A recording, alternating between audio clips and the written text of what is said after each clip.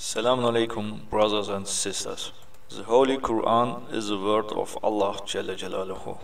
Let's look at the words of Imam Azam Rahmatullahi alayhi wa alayhi majmain on this subject.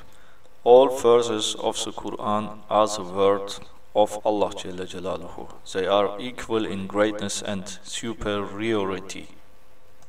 But in some Quran surah and verses, however, there are two points, zikr and of the mentioned. This is the case in the verse Ayat al-Kursi. Because in Ayat al-Kursi you read the word of Allah Ta'ala and in addition the glory, greatness and attributes of Allah Jalla Jalaluhu.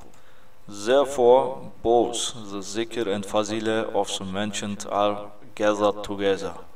Other verses describing the circumstances of prophets and friends of Allah Jalaluhu are also equipped with zikr and fazila. In the verses describing unbelievers and their deeds, there is only zikr. Allah's word is zikr. The mention of the unbeliever has no fazila.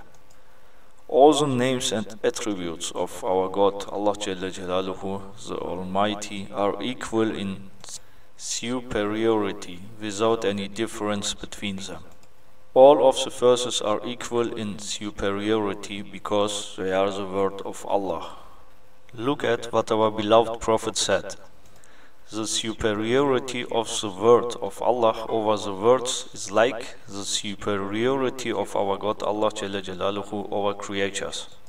We can find this hadith in the works of Jami Sair and Fatul Kabir in Suyuti.